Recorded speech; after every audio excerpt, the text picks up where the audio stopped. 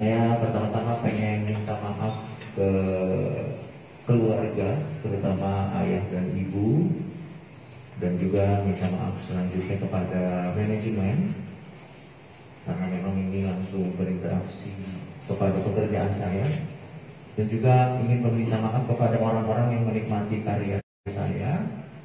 Eh, mohon bersabar dulu karena akan agak sedikit tertunda uh, karya-karya yang bisa teman-teman nikmati karena ada urusan yang lebih penting yaitu uh, kesembuhan saya dari adiksi terhadap obat-obatan terlarang dan biarlah ini menjadi pelajaran buat saya tentunya dan juga pelajaran buat teman-teman yang ada di luar sana bahwa ketergantungan kepada zat terlarang itu tidak ada untungnya sama sekali. Jadi biarlah saya belajar dulu, biarlah saya uh, memperbaiki diri dulu, biar nanti saat saya kembali lagi di panggung itu saya jadi uh, lebih baik, jadi lebih bertanggung jawab dan bisa menghibur teman-teman yang ada di luar sana dua, tiga atau empat kali lipat lebih baik daripada saya sekarang.